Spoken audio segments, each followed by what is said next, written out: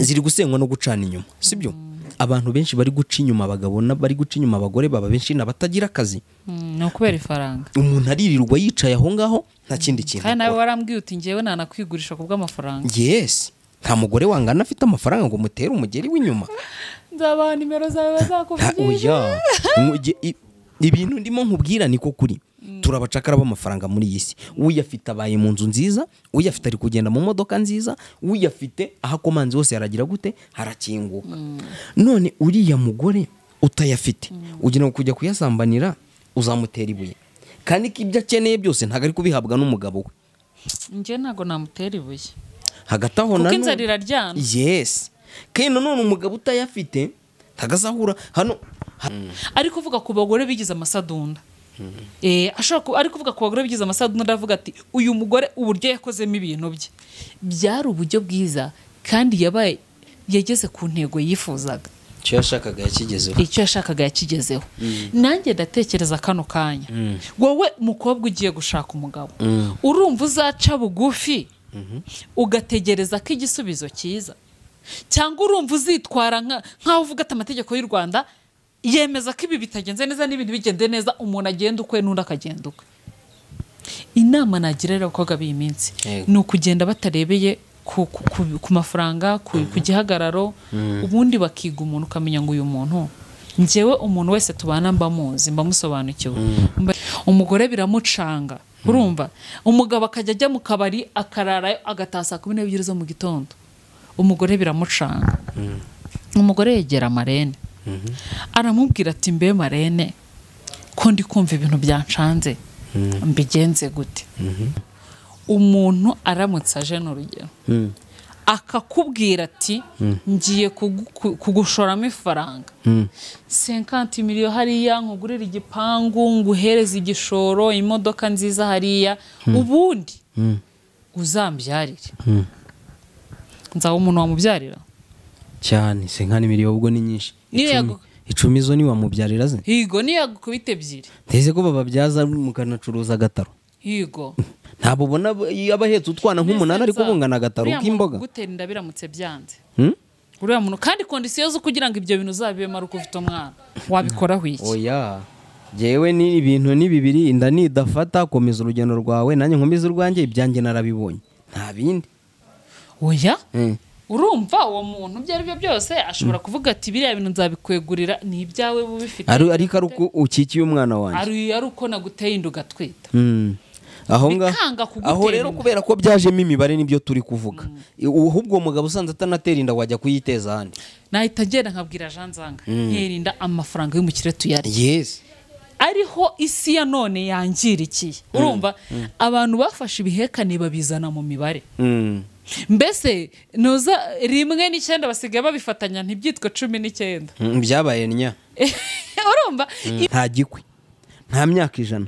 Ugira ngo izo mpamvu zose ntiziri gukomoka kuri ibyo bintu. Byo kugira ngo uriya eh, urugero platini ararwubatse ni umusitari mu gitondo burakeye rugize gute? Ariko uriya mugore wa platini yavuze yuko nyine n'ibyamugwiririye yarapuraninze umupangu yagwiriwe n'iki Eh? yagwiriwe n'iki? Yagwiriwe no kuba nyine yara- yarazi ngo agiye gushaka umugabo? Umugabo babane? Yari ayobewe ko asambana se? Oya wenda wasanga yarabikoze rimwe Oya. agatwita Hello mumeze mute ndizera ko mumeze neza nanjye meze neza. Nk'uko musanzwe mubizi ni shuwa diru shuwa diru w'i rwanda. Ah, nda- abakameramani ngo ndaho ndoroshye ibyo bintu mbibwira no kuri tiktok. Ntabwo kuri youtube ndamenya niba bizoroha. Aho kuri tiktok mba noroshye ariko kuri youtube nzabimenya minsi iri imbere niba naho nzajya noroha. Ah, kuko naje naje mfite ubukana ndetse n'uburakari cyane kubera ko numva nshaka ko abantu bamenya. Ndetse abantu bakamenya icyo nkora n'icyo ndicyo n'icyo nshoboye. Ndikinnye oya ni byo. Ngo basuhuze. Ndabashoje cyane ninjye bwana jean zanga jean zanga ndamusuhuje cyane aba yabangiye nanjye ndanamushimira cyane n'umuntu w'umugabo. Ah, rero aka kanya tuje hano tuje kuganira ku bintu bijyanye n'ibi bikurikira. Ah, ikintu kimwe turi buganireho ni ikintu kijyanye na divorce ziri kuba hanze ahangaha ndetse nyinshi zinakabije. Nanjye ari rwo rugendo naciyemo burya iyo umuntu avuga ikintu yaragiciyemo cyangwa akavuga ikintu yarakibonye hafi hari umuntu cyabayeho biriya bintu birumvikana cyane kuruta umuntu uri gukora analize atazi ibintu biva niyo bijya. Niba mvuga ikintu nagiciyemo mujye mucyemera ko ari ukuri ndetse na fagiti ntanze n'impamvu ntanze mujye muzemera. Noneho niturangiza tunaganire ikintu kijyanye no gucana inyuma ese biterwa n'iki? Ese bigenda gute? Ese n'iki twakora kugira ngo biriya bintu bicike? Hari ikintu twakora se? Ibyo ni byo tugiye kuganiraho rero kano kanya. Ah, ndi bubane na nzanga na kameramani pauline umwe ndamushuhuje cyane. Kamerama yambi mwe. Ni pauline utangiye gusomana. Oya ntago nsomye. Neza turegeranye. Rero twakomeje cyane. Janza karame. Tugiye kuganira ku bintu bijyanye na na, na divorce. Na divorce icyo bita kwivumbagatanya. Mm. hari abantu benshi bashobora kuba bara barahuye na divorce bakadivorce bataranabana ibyo bintu siko bibaho. Njye mfite sister wanjye mama wanjye na mama we bava indimo. Ndamusuhuje cyane ahari wenda ashobora kuza kureba kino kiganiro. Ntabwo ndi mu menshiyoni mu menshiyoni ngo mvuge amazina ariko ni sister wanjye ubwo bajye kureba mu bana ba mama ba, ba mama wanjye babyaye. Ubwo bene nyina ba mama harimo sister wanjye ya- yari umurokore usenga. Ariko kwa kundi umuntu agera igihe cyo gushaka kikarengerana. Urumva? Aza kuza gushaka umugabo aza kuza gukundana n'umuhungu ba- amu akuze uwo sisita wanjye yari akuze. Eh, noneho ah, kuba yari akuze aza kuza gukundwa n'umutipe ukiri mutoya. Noneho uwo mutipe basezerana mu rukiko bumva bari bari kwitegura ubukwe. Yego. Umutipe aragenda abwira undi muntu aramubwira ati ngewe uriya mukecuru ntabwo nari bumushake. Mm. kubera ko ari umugore ufite amafaranga kubera ko ari umugore ndi kubona uzatunga urugo njyewe namukunze kugira ngo azamfashe kubaka iriya nzu yanjye yananiye. Mm. can you imagine? Yari yiboneye bari urebe ukuntu ibintu by'iyi minsi revo biriho byajemo imibare. Ariko nanone nanone nka- nkanagarukira abantu. Usanga kenshi muri iyi minsi abana b'urubyiruko ntabwo bafite bari gukura. Ese muri divorce ari abagore n'abagabo ni bande bari gutenguha abandi cyane? Bose. Ntabwo narengera abagore kuko abagore tuba amasadunda tukaba amasasu n'abagabo kandi nabo ni uko. Ahubwo hagati y'abantu batandukanye kubera ko impamvu iyo ugiye kureba eh, ugiye kureba ku rukiko aho batanga imanza za divorce hari aho usanga umugabo ari we wafashe iya mbere akarega hari n'aho usanga umugore ari we wafashe iya mbere akarega. Hari umugabo ujya kurega ari kwiyoberanya ari we wazengereje umugore. Yego. Ariko uriya mugabo iyo abikoze kuriya usanga la majorite ya bariya bagabo niba afite undi muntu uri kumwagiserera bagiye kubana la majorite iyo agezeyo biranga akagaruka kwa wa mugore kubera ari wo baratse divorce hari aho mbizi. Hari aho mbizi ugasanga nk'umugabo atangiye kubona umugore warashaje ntateye neza akabona hari ba bamanyo meza ba- basigaye bateye neza bari ku kigero cyiza ibisabo. Eh, bateye nk'ibisabo nk'ibitunguru. Ugasanga iyo niyo mpamvu itumye ata umugore we wihanganiye buri kimwe wabayeho mu bu- mu bukene bagize cyangwa mu bukire bagize ariko akahava akajya kureba imiterere y'undi mugore. Eh, ni ikibazo gikomeye. Mm. uwo sisita wanjye rero Mm. imagine ko yakoze divorce atarabana n'uwo muntu. Ku isezerano ryo mu murenge. Eh, umunsi bari busezerane ntabwo byakunze nyine ko basezerana bahise badivorce hari abantu rero nabo yaje gushaka nyuma? Nyuma yaje gushaka.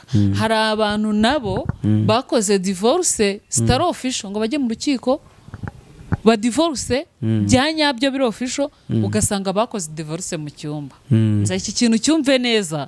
Ugasanga ngewe shuwa diri unagiye gusura nzanga. Ntago nigeze menya ko n'umugore we mwatandukanye.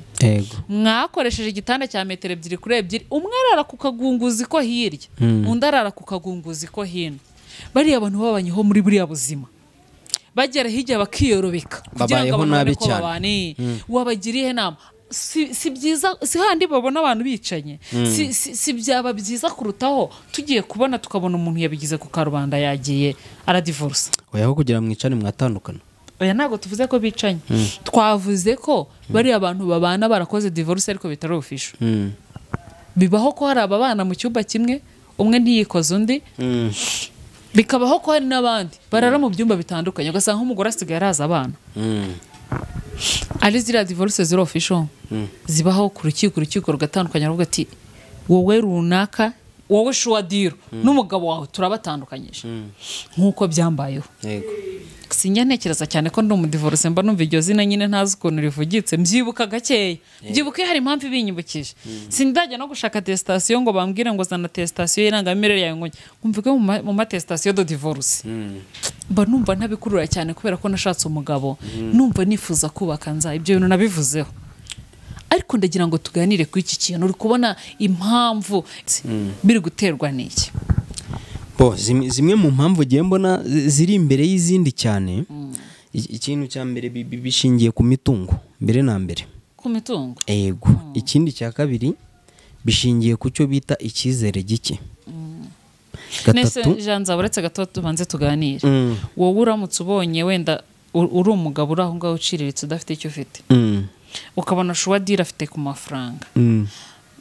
nza ntago wajya kumukunda wenda ukajya ujya kudawunirodinga no kuri google ukunda ukamukunda ukamukunda cyane kubera ya mitungo. Wowe ntiwajyayo?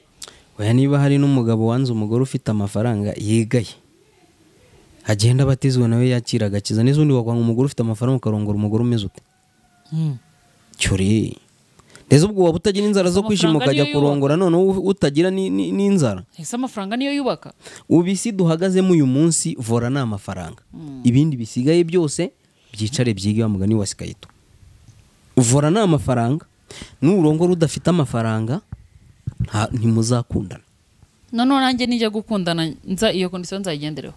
Ubu nushaka umugabo udafite amafaranga uzambona iwawe. Nize nzaza nze kubwirirwa agiye cyangwa kuburara? Nese utaje iwanjye byatuma ntubaka ngaho nyumvira. Ndi kubibara gutyo rero hari n'abandi bari kubibara gutyo. Ku buryo ushobora kuba uzi ko ari njye utazaza jyenyine hari n'abandi batazaza. Reka amafaranga ni- nzi neza ko ninshaka n'umugabo harimo abazaba bagiriye uwo mugabo ishyari wenda baranterese nkabakatira bakanga kuza. Ibyo si si ubwo kwera umuntu ibyatuma abantu batazi iwanjye byo byaba ari byinshi. Bya- bya- byaba ari uruhuri rwabyo byaba ari uruhuri kandi uretse n'iwanjye n'iy'uwundi nta muntu ukora ubukwe ngo abantu bose bamwishimire totari jyewe tugarutse ku kintu cya divorce. Reka re- reka turebe ubundi umugore ajya gutandukana n'umugabo byagenze gute? Hari ibyo batari kumvikanaho.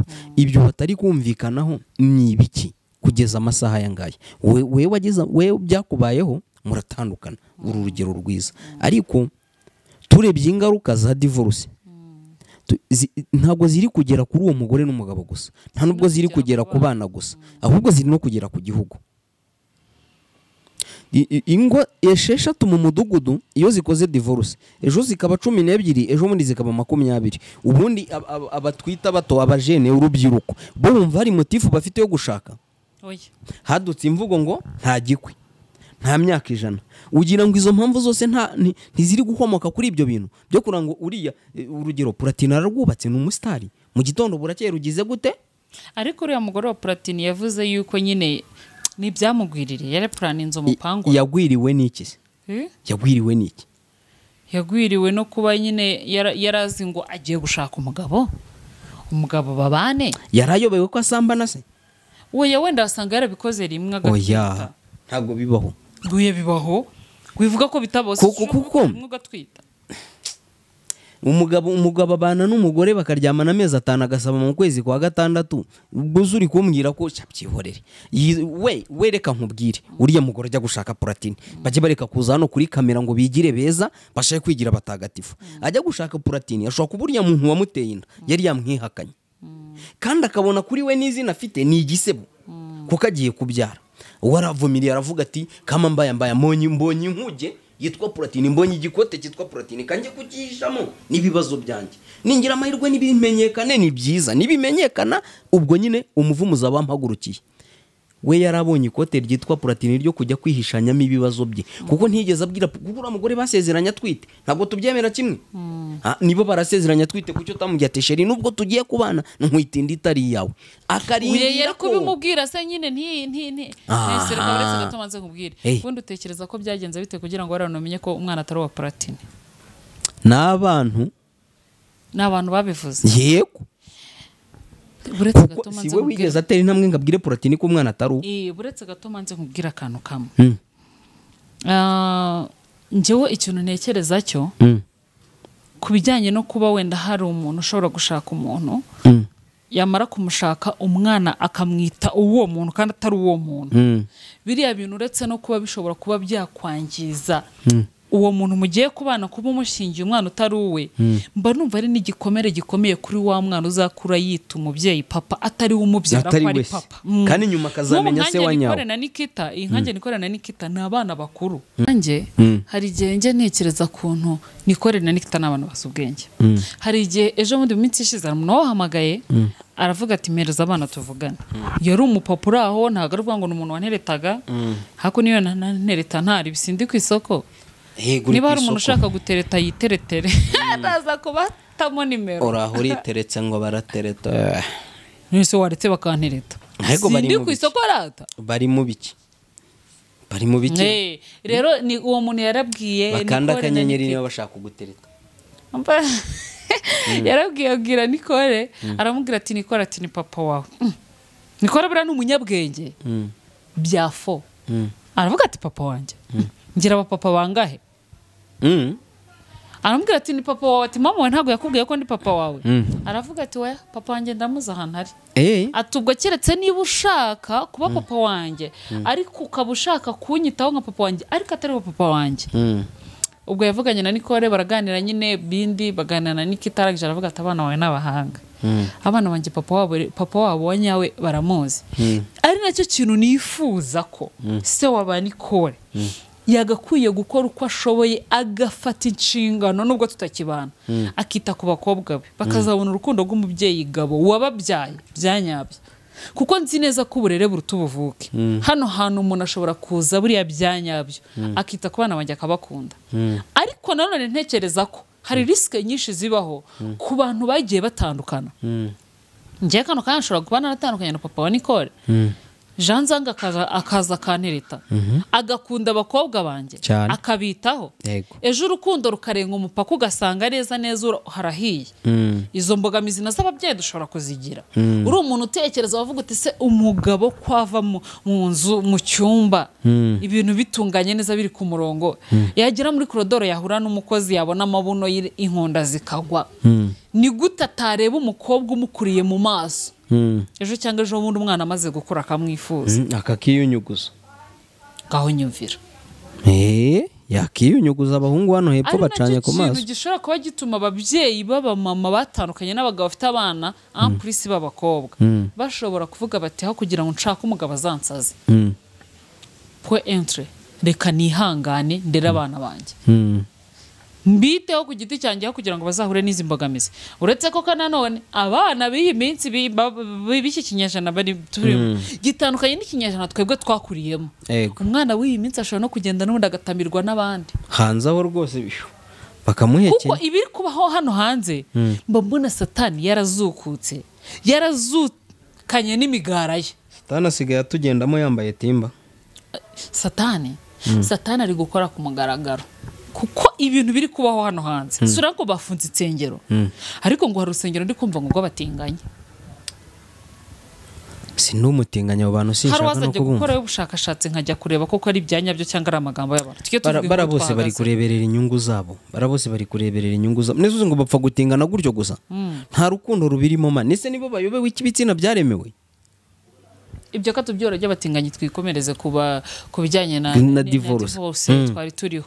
Twari turi kuvuga ku bijyanye na platini umugore we ntabwo tuzi icyo yari agamije ajya gufata umwana akamwitirira umuntu cyangwa wenda wasanga nawe ataranabizi cyangwa yari anabizi. Yari abizi ko ari ejo bundi hari umuntu umwe wantereye sitori Mm. arambwira ati mama niko. Umuntu aramutse aje ni urugero Mm. Akakubwira ati ngiye kugu- ku- kugushoramo ifaranga. Mm. senkanti miliyo hariya nkugurire igipangu nguhereze igishoro imodoka nziza hariya. Ubundi Mm. uzambyarire.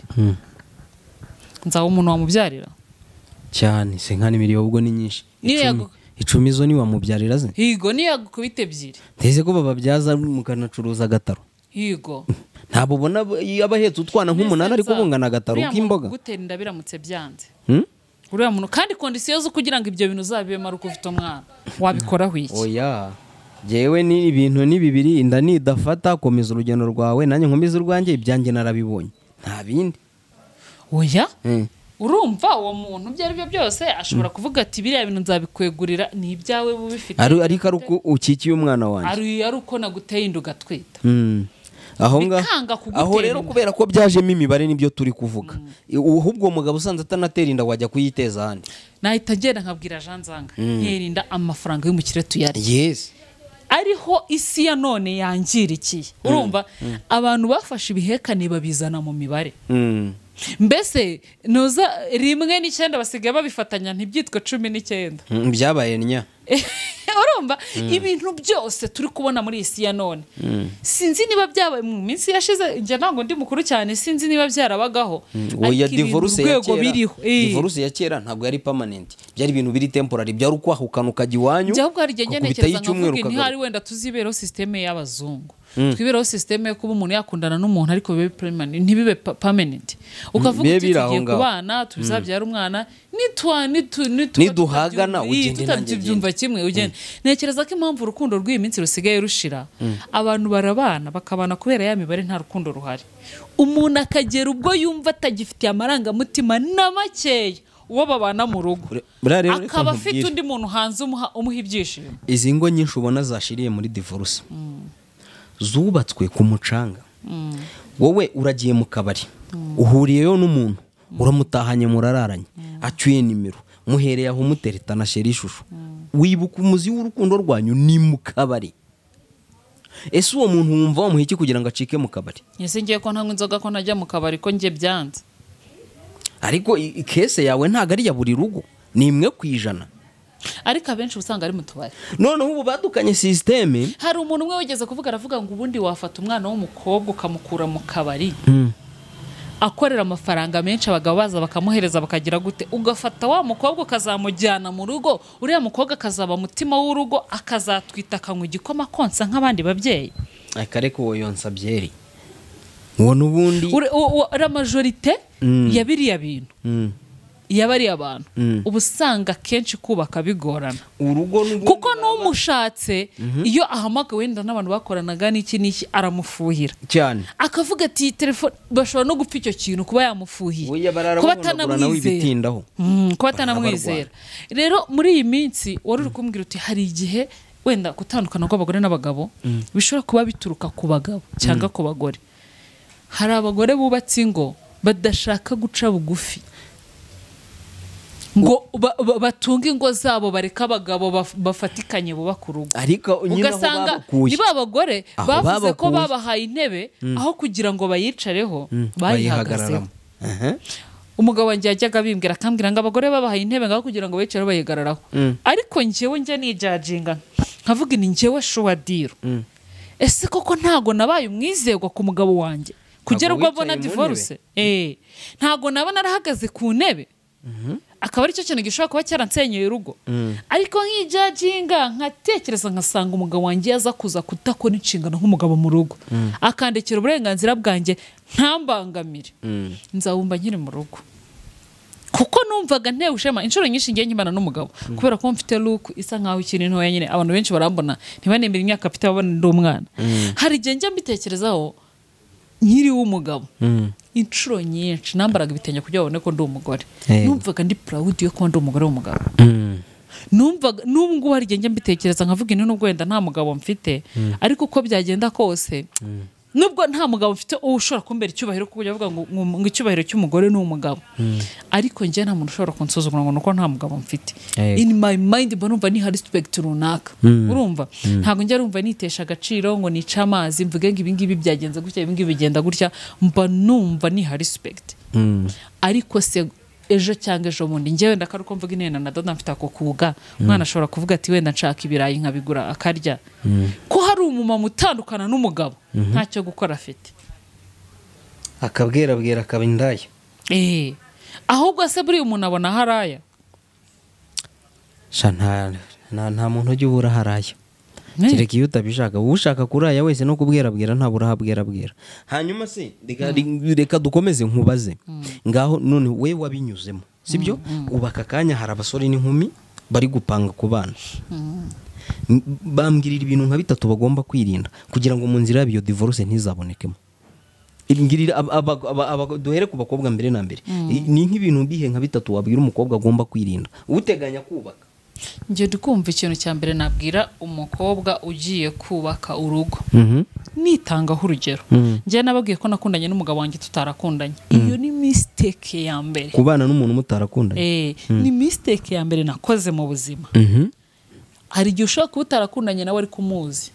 Uzi uburyo ateye uzi ibyo akunda uzi ibyo yanga. Imico ye byibura hariho nka kangahe ku ijana uzi. Njyewe umugabo wanjye twamaranye ibyumweru bibiri tuziranye ngiye kumusura arangumana ahangaha ikintu cya mbere nabwira abakobwa ni ukudahubuka Mm. ntazite ku mafaranga nubwo amafaranga ari ngombwa azabireba ko ntazabiduteho cyane. Ego ntazite kuri luku y'umusore abantu bajya gushaka bakavuga ati njyewe. Nka kwa kundi pasiteri tewe yavujyaga avuga ngo umuntu asigaye ajya gushaka amarene ntashake marene uzamugira inama ngo amwiteho avuga ati bigenze gutya bigenze gutya Mm. yashakaga amarene usha- uryoshya ifoto Mm. Ndumva hano hantu ntashaka umugore uri umugabo uri handisemu ntakunda umugabo uri handisemu nareba ku mugabo ufite ibitekerezo byo kubaka. Ushobora kuza tumaze kubyara akazavuga ati se umwana wanjye azabaho gute mu buhe buzima? Abantu benshi twakuranye imibabaro. Abantu benshi twakuranye agahinda. Abantu benshi twavukiye mu cyaro. Hahandi habi. Ese ni iki wakora kugira ngo ubuzima bw'umwana wawe buzabe bwiza? Pari raporo y'ubwo wakuriyemo. Mm. icyo ni icya kabiri. Icya mbere ugomba kureba ni urukundo. Icya kabiri ugomba kureba ntugomba kwita ku mafaranga cyane. Wenda ushobora kuyarebaho gakeya. Ikindi cya gatatu ntushobora kwita ku- ku- ku- kuri luku y'umugabo. Wenda ushobora kubirebaho ugiye gukunda ariko ushobora gucuruzinga.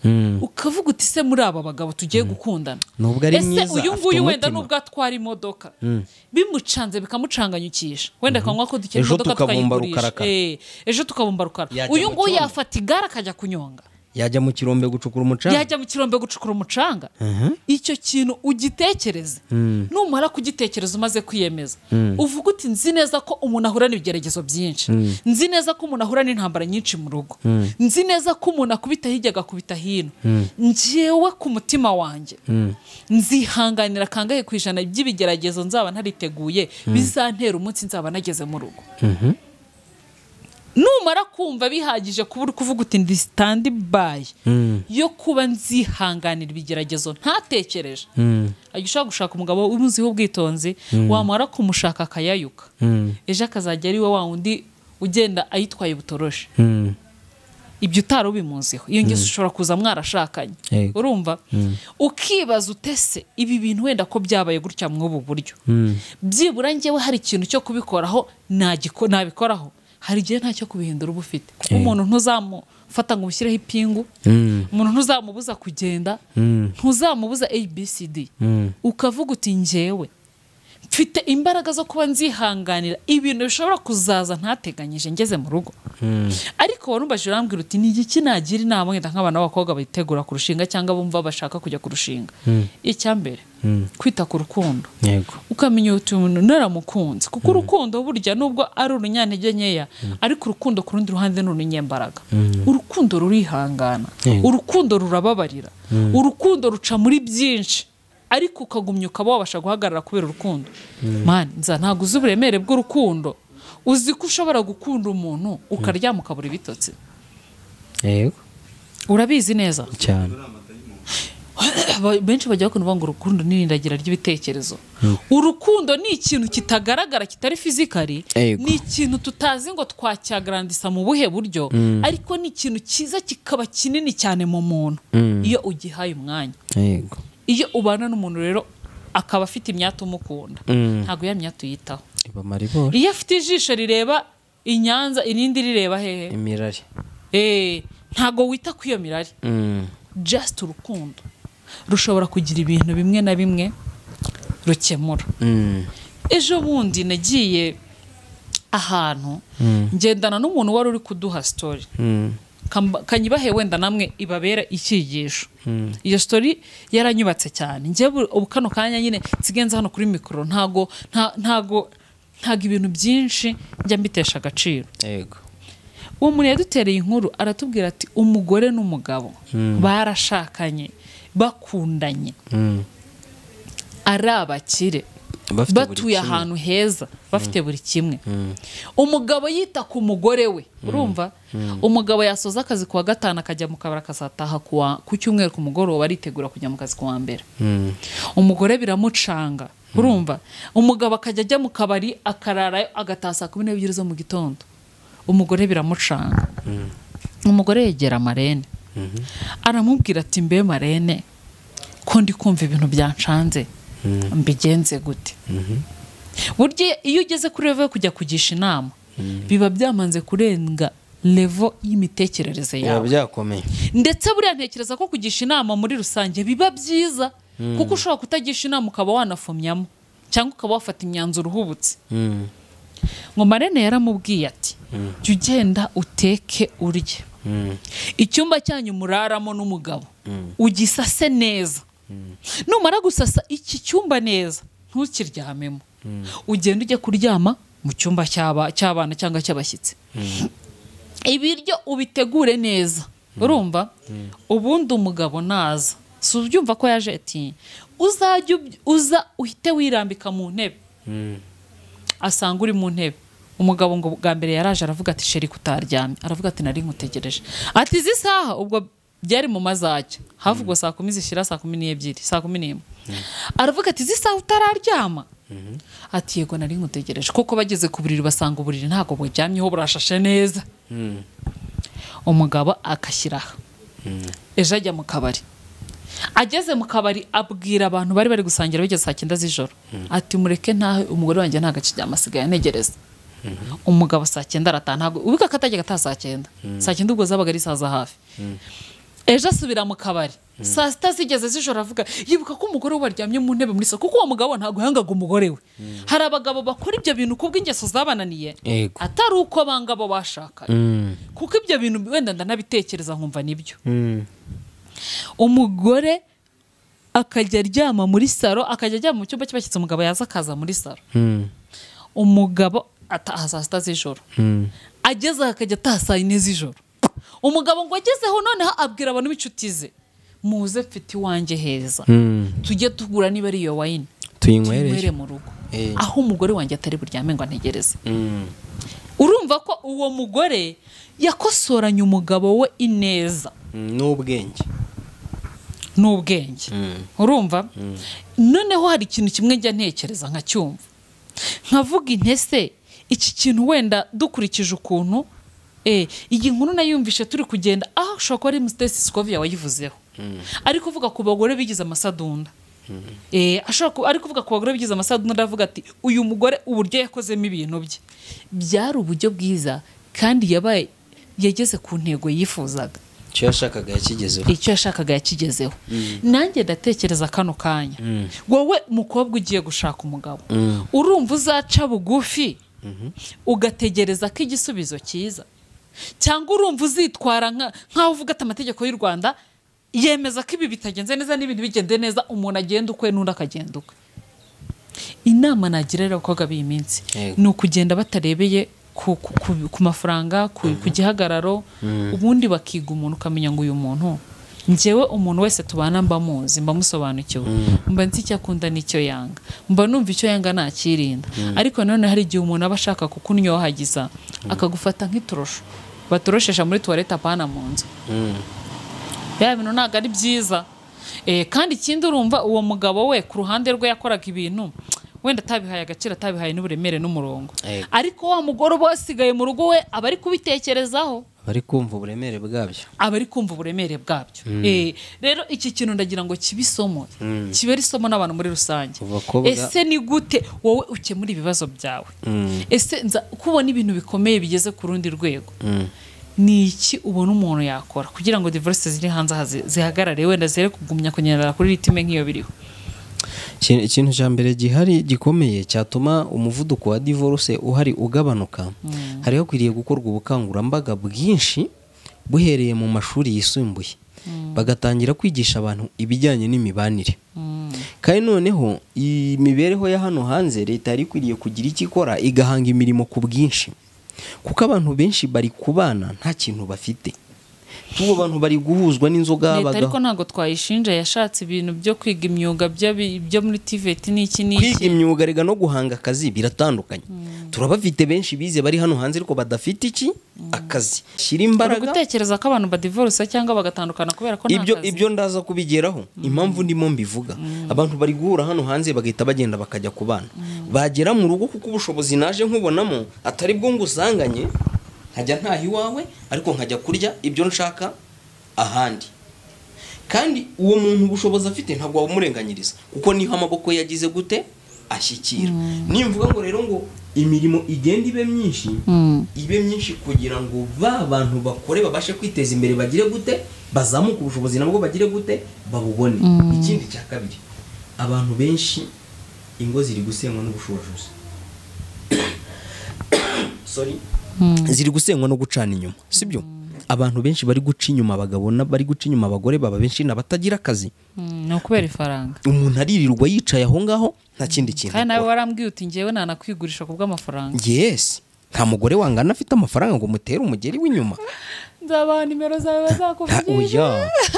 i- ibintu ndimo nkubwira niko kuri.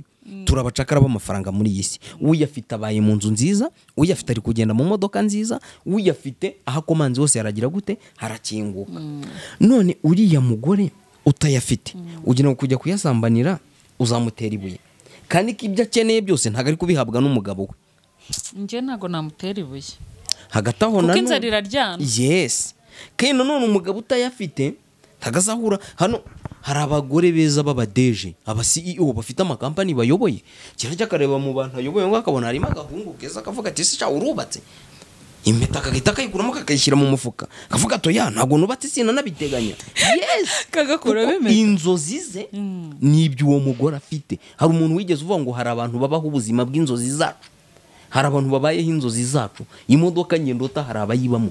Inzu ndota hari abayituyemo. Imyenda ndota hari abayambaye. Ibihugu ndota kujyamo hari ababyirirwamo ntibabiraremo. Babyigaraguramo nk'uko bava mu cyumba kimwe bajya mu kindi. Rero kugira ngo ibyo byose umuvuduko wa divorce ugabanyuke. Ikintu cya mbere abantu bakunde bagenzi babo. Mugabo uwo mugore washatse ongera umukunde nk'uko cyagiye wari umukunze kuri wa munsi wa mbere ujya kumusaba ko mubana. Mm. ongera ugarure ya mbuto y'urukundo. Umugore uwo mugabo uri guca inyuma ongera umukunde nk'uko cyagiye wari umukunze ku munsi wa mbere wemeraga ko uzamubera umugore. Kabiri mwige kunyurwa n'ubushobozi mugize gute? Mufite. Wishaka kugenda mu modoka nta n'igare ufite. Wisaba umugabo imodoka uzi ko umushahara akorera. Ibyo uba hari ibyo bingana nawo wimusaba kukwambika nk'umugore wa minisitiri uzi ko umugabo wawe ari iki ari umufundi? Ambara nk'umugore w'umufundi uraberewe urasa neza. Hari n'abagore uba usanga muri iyi minsi usanga ashaka kubaho ubushobozi buruta ubwo bafite. Umugore akemera akajya mu itsinda kwaka inguzanyo ariko agaragare neza najya gusenga. Ni uko insengero bazifunze ariko insengero na zo z'iyi minsi ziri gutwaza abantu igitugu. Imyambarire irimo n'ibibazo. Njyewe ndadoda. Mm. ibi ngiye kuvuga ndabizi neza. Ugasanga umugore yaje ageze iwanjye asanga ndi kudoda igitenge cya cote d'ivoire cya mirongo irindwi. Mm. ugasanga umugore uciriritse uri aho arambaje ati igitenge kigura ngaho ugiye kukidodera ngahe nkamubwira agahita ambwira ati ngiye mu itsinda kwaka amafaranga nanjye nambara iki gitenge. Uyu muntu ntabwo yazambara iki gitenge ngo nanjye nanirwe kucyambara yes. Ugasanga umuntu afite puresha mani yo kugira ngo abantu bazajye bagaragara neza ku rusengero nawe agaragaremo kandi ubwo bushobozi atabufite. Mm. numva ikintu cyaba cyiza wa mugani umuntu yabasha kwakira ubushobozi afite. Bige kubaho ubuzima bafite. Eh, bareke kubaho ubuzima bw'ibyifuzo. ushobora gusanga kubera ko nyine nta mugabo mfite ubushobozi mfite bunyemera gukodesha inzu itarimo na parafo yes. Kandi nkumva nta kintu bintwaye. Ukumva uranyuzwe? Nkumva niba nta bushobozi mfite bwo kugura igitanda nshobora kuryama hasi. Mm. nkumva niba ntafite ibase yo gukarabiramo niyo nakarabira mu ndobo. Hari icyo byaba bintwaye yes. Abantu bagiye bareka kwipasa muremure njya mpura n'abantu banzi kuri tiktok abantu banzi kuri tiktok ni benshi bakansuhuza. Buriya igihe basigaye bavuga ati semoni ko tumuzi tukaba tubona agenda n'amaguru. Mhm. hari igenda kizagera hari igenda kizagera nkagura imodoka. Mana nibikunda nibishima. Ariko se ndinde wo kujya kuba mu bushobozi ntafite ibiriya bintu bitera puresha imodoka. bishobora no gutuma burya eh, ushobora no guteretwa n'umuntu wo ku ruhande akakubwira ati ngewe nuza nzakuzuriza inzozi zawe. Ukaba wajya kwaka divorce ugata uwo mwarimu banye wenda nta n'ikibazo kinakomeye gihari kubera bya bindi byagukuruye. Kandi wenda wazagera ugasanga nta mahoro biboneyemo. Cyangwa wenda baranakubeshya. Aba, abantu rero reka nibwirire abantu bakoze divorce. Abadivorce babaga babe n'abagore. Niba uzi ko wakoze divorce ari we biturutseho.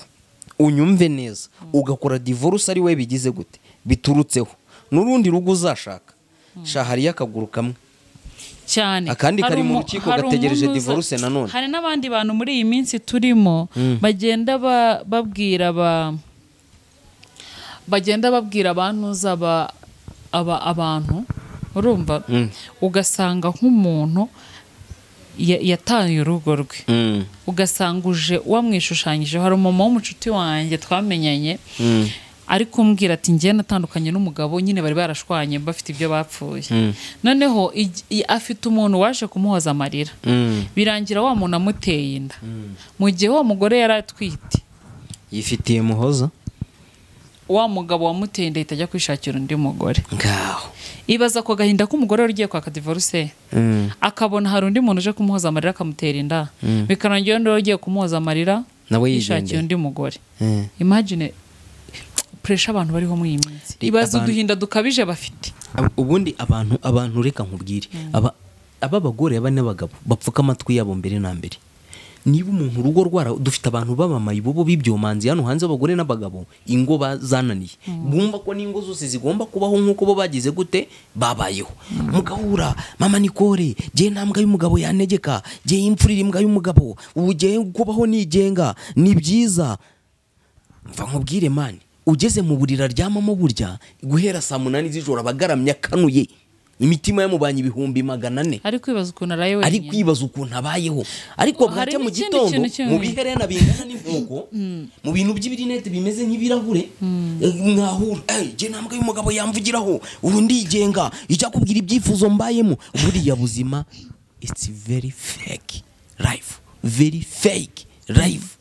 Mwa bagore N'ubuzima mwe mwubatse mwa bagabo mwe mwubatse ibi bintu mubyumve. Wowe icyo kintu ngitekerezaho urumva kigare. nkirimo. Icyo kintu icyo kintu njyewe nkirimo. Mm. samutayime nanjye njya mbitekereza. Yego. Nkatekereza nyine ubuzima mbayemo nta mugabo. Mm. njyewe hari abantu benshi bazi ngo nasenye kubera natangiye gukina komedi ngo numvaga ntangiye ngo kujya kuba ku yindi wari umaze kuba umuntu wa danje ariko ntabwo ari cyo kintu cyatumye Maze kubyimba. Kuko hari abantu ba- ba- ba- ba- bari muri mu isi nk'iyo mbamo ndetse baciye mu byo naciyemo ndetse babayeho mu buryo bwa entertainment nk'uburyo nari ndi kubyinjiramo kandi bubatse imiryango yabo. hari n'abandi bari gusenya imiryango yabo bata- batakoze nk'ibyo nakoze. Ugasanga abantu ni n'abahinzi ariko bari gushwana mani Mm. ugasanga abantu ni abanozi b'icyayi bari gushwana bakanatandukana. Ntabwo bivuze ngo gutandukana bifite isura bifata. Ntabwo bivuze ngo gutandukana bifite abo bireba buri muntu wese biramureba kuko kubaka urugo nta lisansi yabyo bigira. Nta diporome yo Eh, kubaka urugo. rero ndagira ngo tugire inama muri rusange abantu benshi badukurikirana cyane hano kuri shuwa diru ibi bintu tuvuzeho babyiteho. Ibintu byo kujya kubana n'umuntu muramenyanye umugani wa, nzanga ejo mugahita mujya kubana ibyo bikaba birarangiye. Ndagira ngo icyo kintu mukikurure mukiduteho cyane kitubere isomo. Kugira ngo turebe wenda ko twareduyesinga ibiri kujya mbere. Kuko ndi kubona ejo hazaza ari habi. Tugiye kujya tugira niba twari dufite ingo mirongo mirongo wenda mirongo itanu ku ijana. Tugiye kugira ingo mirongo icyenda ku ijana kubera ko harimo mirongo ine zizaba zibamo abagabo batandukanye n'abagore n'izindi mirongo ine zizaba zirimo abagabo batandukanye abagabo batandukanye n'abagore. Urumva atari ikibazo? Je- jewe- agahinda k'abana batandukanye n'ababyeyi babo. Yewe rero yewe rero reka re- re- reka mvuge aka kantu. Kandi um- umu- umuntu wese uri bubashe kubona iki kiganiro umfashe ubigeze kuri mugenzi wawe. Umugabo n'umugore mwige kuganira. Cyane communication. Hano hanze hari abagabo b'ibigoryi mbita b'ibigoryi kuko ni ibigoryi n'ubundi nta bwenge. Uhura na mugenzi we aho kugira ngo amufashe kubaka urugo rwe ruri gusenyuka kigatangira ngo ubugiye ngo mfite inzu ngo nkodeshe i nyamirambo ndiramo abana. Um- uze um- nguhe urufunguzo nawe nujya ubona ka gakobwa yenda ka sokereteri wawe hari ukuntu biri kugenda ugakata neyo wagicucu uzi ko uri gusenya urugo rwa mugenzi wawe? Uri gusenya urugo rwa mugenzi wawe. rero uri gusenya urwa mugenzi wawe nawe utiretse. Ibyo uri gukora umwana wawe nawe azagira gute? Azabikuriramo. Hari abagabo bari gushuka abagabo bagenzi babo? Hari abagore bari gushuka abagore bagenzi babo kandi byose bizingiye ku kintu cy'ubucucu cyo kuvuga ngo uriya aryoshya imibonano uriya ntayiryoshya ako kantu tuzakavuga Umugore n'umugabo bicaye iwabo mu rugo. kiganiro tuzagishaka ukwacyo. Tuvuge ko ibyo bintu ukuntu bigiye gusenya ingo zabo umugore n'umugabo bicaye mu rugo rwabo bakaganira umugabo akamubwira tumva nkubwire sheri ukuntu aferi zimeze. Imana imume n'umuceri wanyu mu ngo kuko n'ubundi mujya kubikora hanze bikarangira bibasenyeye ingo sibyo kabwa ati jyewe nkurikije amakuru ndi gukura hano hanze. Nk'uko umwana aza akabaza nyina ngo umwana acaye nyina akamubeshya ngo aca mu mukondo. Mwe ntabwo muri abana nimubwizanye ukuri. Umugabo amubwira ati jyewe bambwiye ko hariya hanze indaya zikora gutya na gutya kandi ibintu bikaryoha binyuze muri ubu buryo. Kuki twe tutabikora? Mm. hari amaradiyo abyigisha. Kuki twe hari tutabikora amateleviziyo Hmm? abyigisha. Hari hari ahantu aba- henshi batanga ibi- ibintu byo kubihuguramo ibyo hari abagore bintu. b'abafungamutwe waza akabwira ngo wingaragura ntabwo ndi inyamaswa wimenesha ntabwo ndi itungo. Hama hamwe rero hari abazi guhena nagenda ntuzazurira ngo umugabo yagize gute? Byagiye. Niba umugabo ashaka avuga ngo ndashaka ko ibintu bikorwa muri ubu buryo ntabwo ari itegeko ko bihita biba gutyo. Ariko ugomba kwicara nawe ukabikorera ubugororangingo. Ukavuga ese ubundi we wabinsabye biramufasha iki? Njyewe biramfasha iki? Kuko muri gusenyera umugozi umwe muri kubaka urugo rumwe. Kuko nimumara gutandukana. Abana bazajyana na nyina. Ariko abana ntibazakira igikomere cy'uko barezwe na nyina isi afite undi mugore.